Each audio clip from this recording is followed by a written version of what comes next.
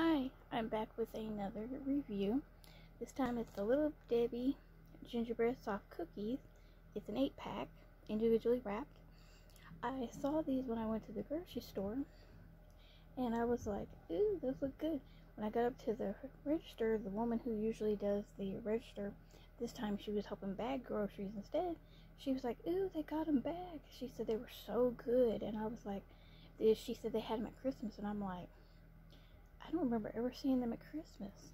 So I'm thinking they sold out pretty quick if I didn't see them at Christmas time.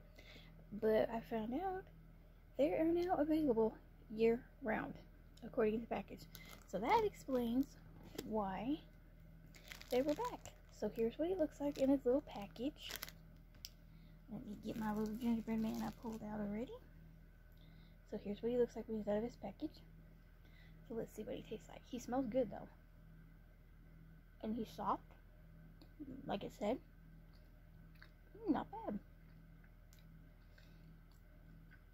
After not being able to find uh, those decorate your own gingerbread men, and then having that little bit of gingerbread cookies I had, it's kind of nice to have some gingerbread cookies again.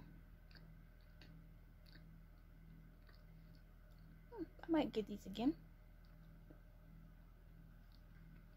They're not bad.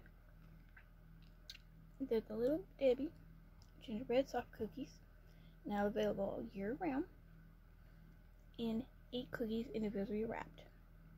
Thank you for watching.